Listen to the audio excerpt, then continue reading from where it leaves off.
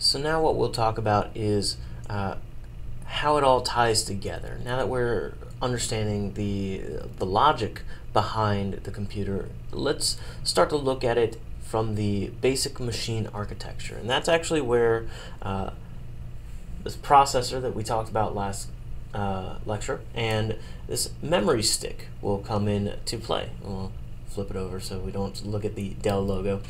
Well, what's really going on here is these two things are the most important things in programming.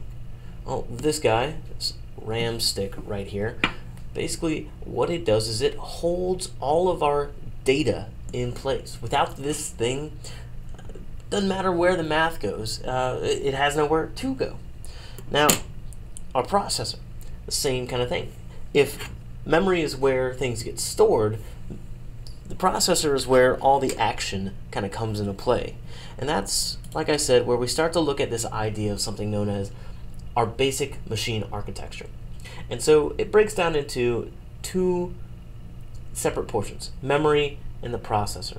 But even then, the memory and the processor, things actually change a little bit more. The processor gets broken down into two separate sections, our control logic and our arithmetic logic unit, our ALU. It's kind of it's hidden right here.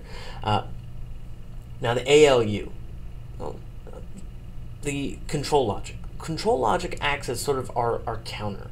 If we think about memory for a second, memory basically is housing things uh, in different little slots inside here. You know, there's tons of little slots going on each one of these uh, black little boxes.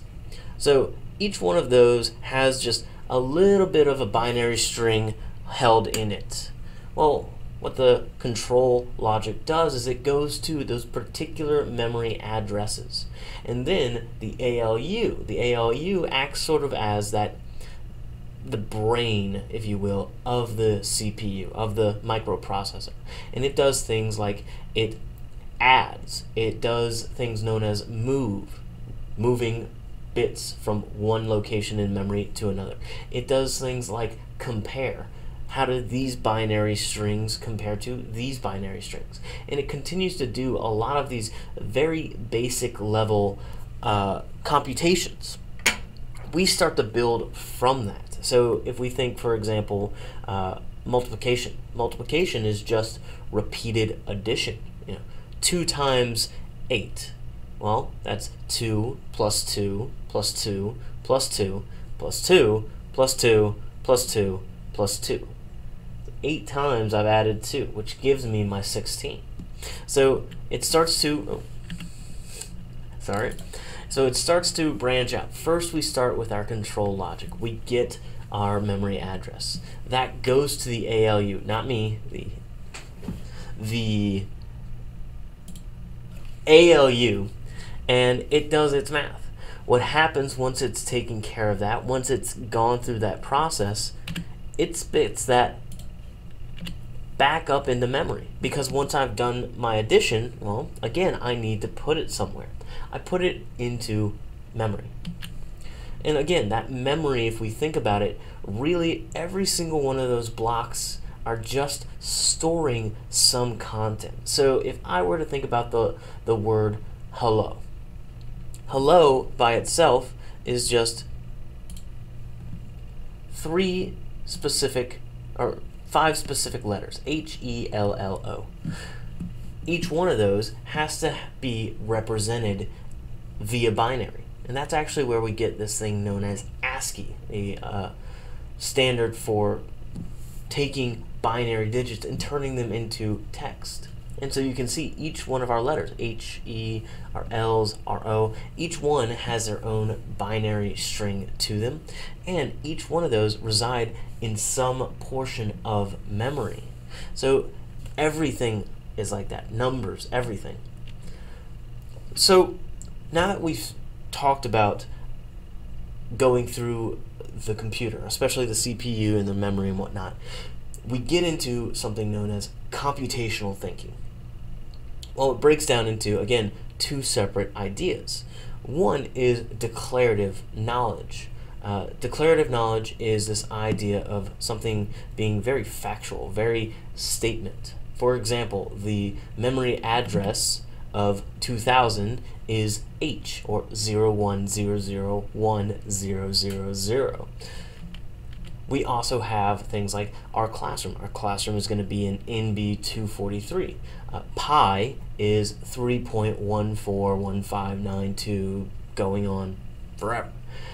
Then we get imperative knowledge. Imperative knowledge is where computer science starts to flourish. We're no longer just making statements, but now we're saying, well, we have to think about how we make that statement. You know, the old idiom of you give a man a fish, you feed him for a day, you teach a man to fish, you feed him for a lifetime.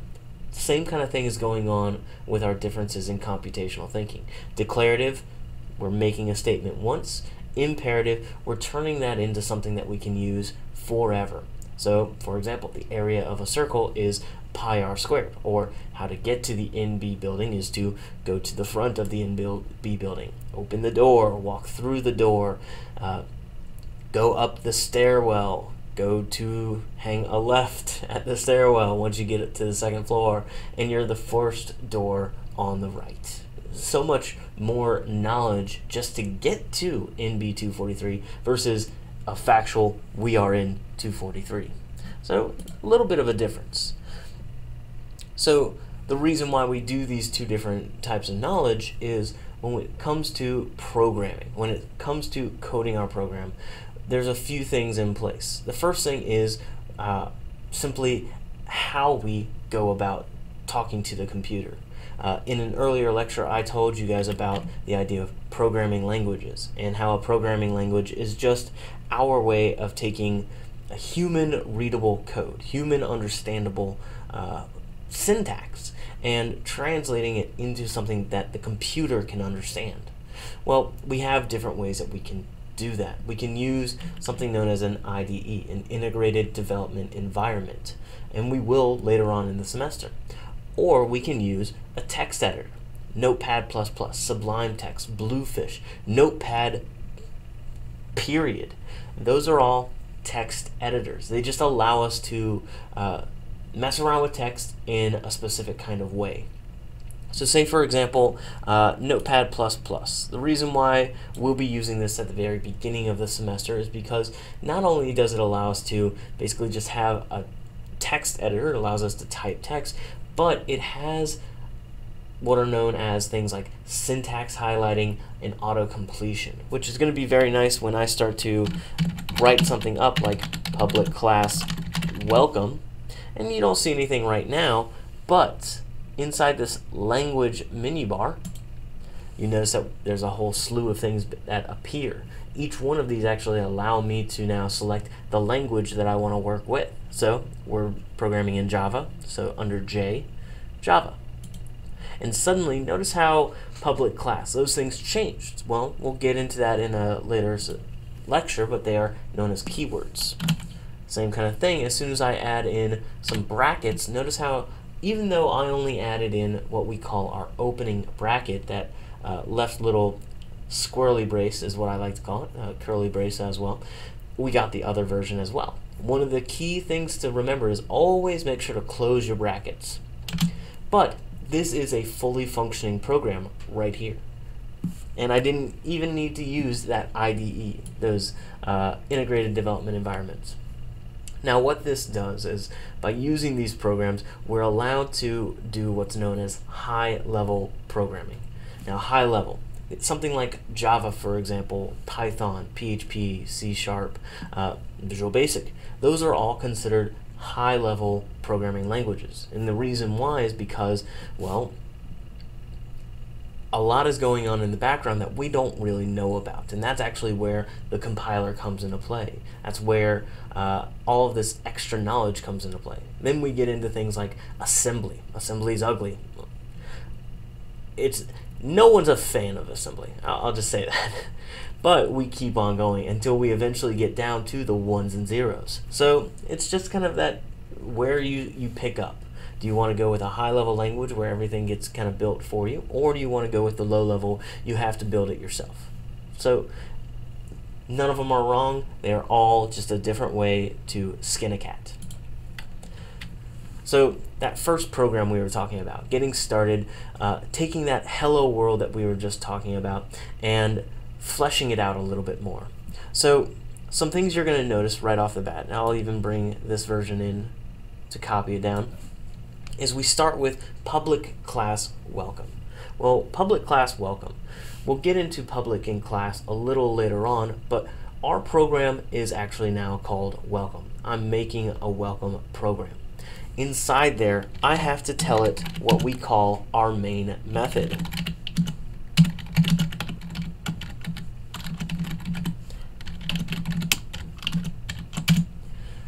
And so what I've just done is this main method. When I run my program, this is the method that's going to run. This is going to be my execution. And the first thing I just want to do is I'm going to add in something we call a comment. Two slashes. You're going to notice that it kind of grays out a little bit on the screen. Let's see if I can't zoom in a little bit more for you guys. It grays it out just a tad. Now, what that allows for me to do is now put in English.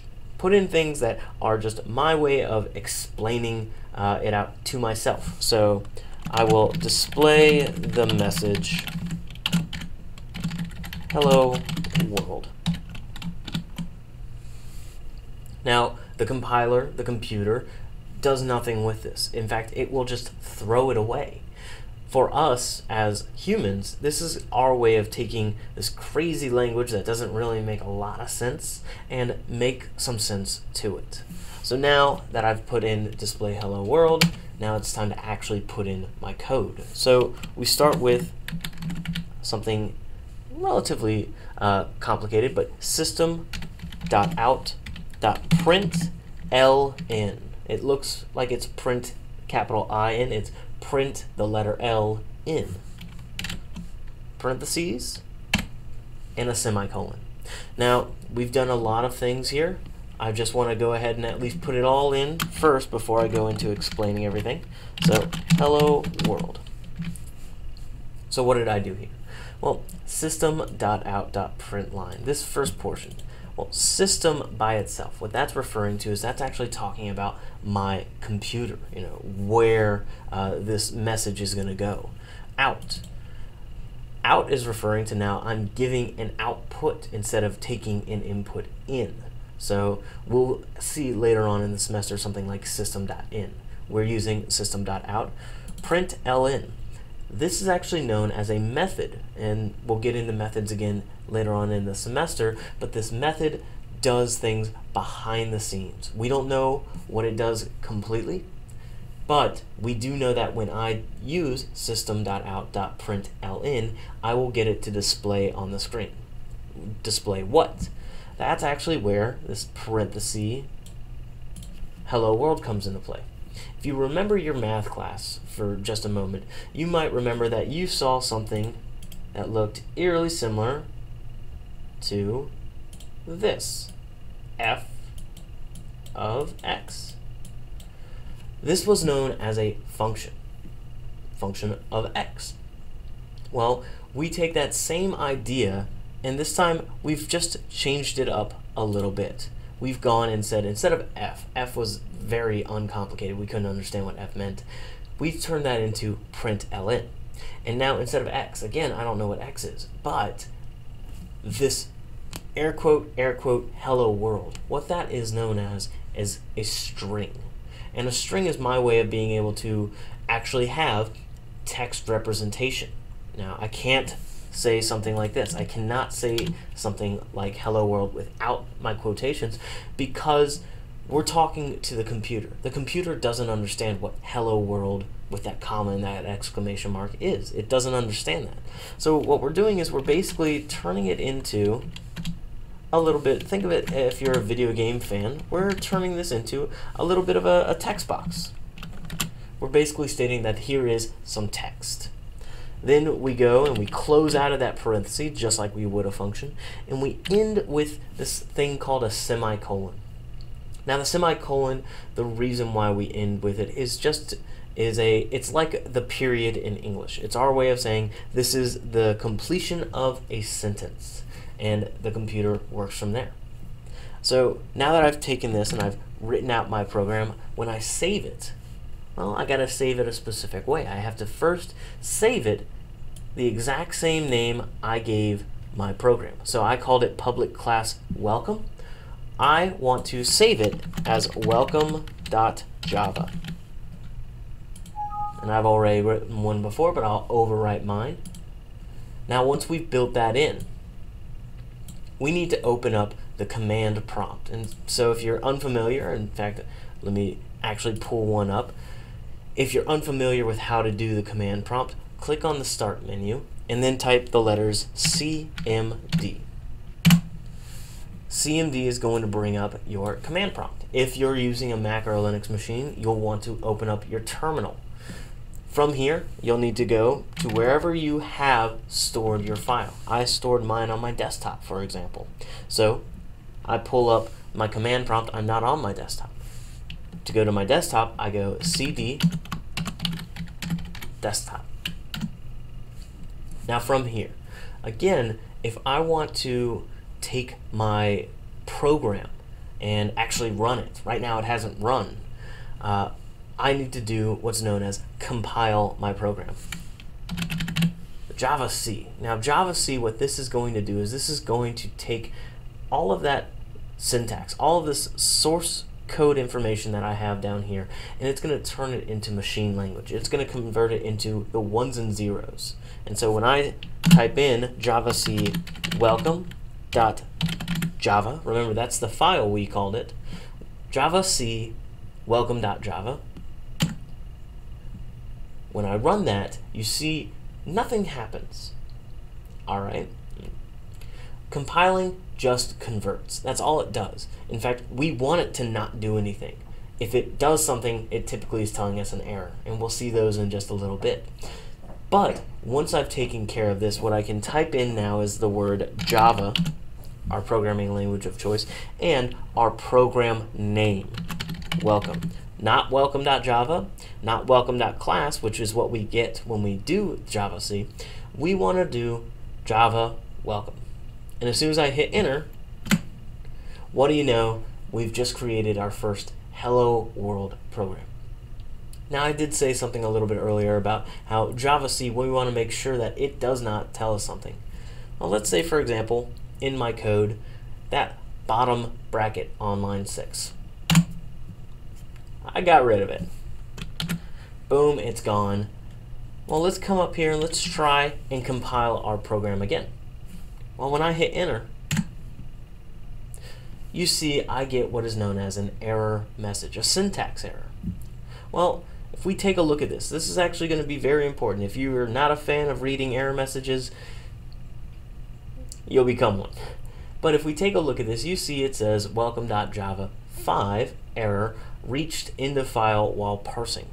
Well, if we take a look at what that means, is basically it's talking about the fact that we got to the end of our source code without actually completing our proper syntax. So I have not officially kind of built my program. So that's where that error comes in. That was just one. What happens if I do something else? What happens if this quotation at the very end of hello world, what if I get rid of that? You see it kind of changes colors. And if I go in and I try and compile it again,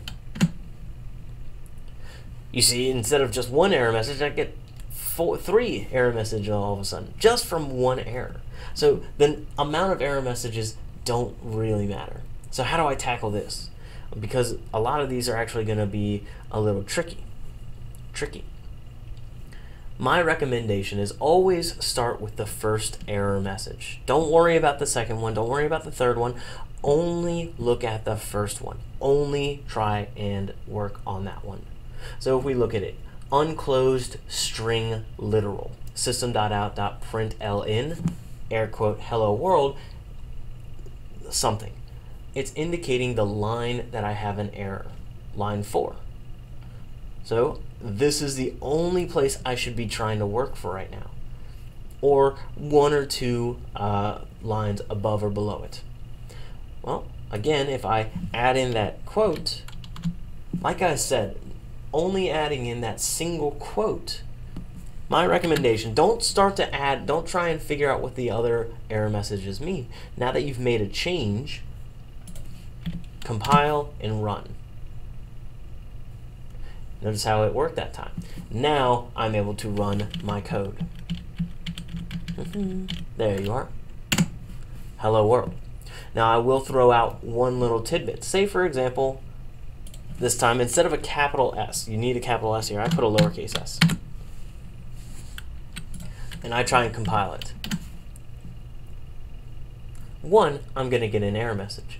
But what happens if I still try and do Java welcome? Hmm, it said, hello world. Well, what's actually going on here is I'm using a previous version of the file. I'm actually using uh, the previous version that worked perfectly fine. Because I did not compile the program because it crashed when I tried to compile it, it, excuse me, it did not change my welcome file. So if I did something like rm, rm remove, sorry, that's for Linux, del, del for a Windows machine, del welcome.class. That deletes that file. Now let me try and do that same Java welcome. Notice how I get an error message. It's not there. I've deleted it. Oh, I'll compile it. Well, no, remember, when we compiled, we got an error. So suddenly, I can't run my program because I have to fix the error first. I have to fix that before I can go in and I can compile or I can run the program. So we've taken a look at the compiling, we've done that. First we convert, then we run the program, and then it will display things for us. So a few little tidbits as well before we end.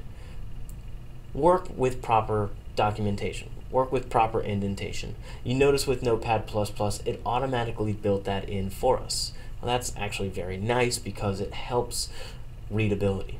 Notice how if we take a look over here on the right hand side, a little bit more easier to read because I have a little bit more flow. I can understand what belongs to what.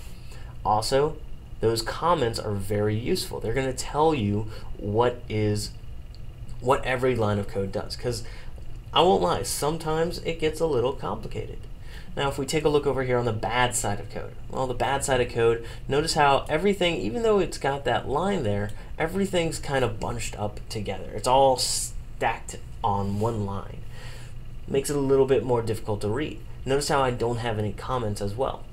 Sure, it's the same code. Sure, it's very basic code. It, you know, we can tell it's going to print something. But again, when we get to more complex code, we'll see examples of where this becomes a little bit more cumbersome. So my recommendation is even before moving on, see if you can write that code. You know, go back uh, and take a pause on the video and write your own hello world. Then try and get it to compile via your command line interface.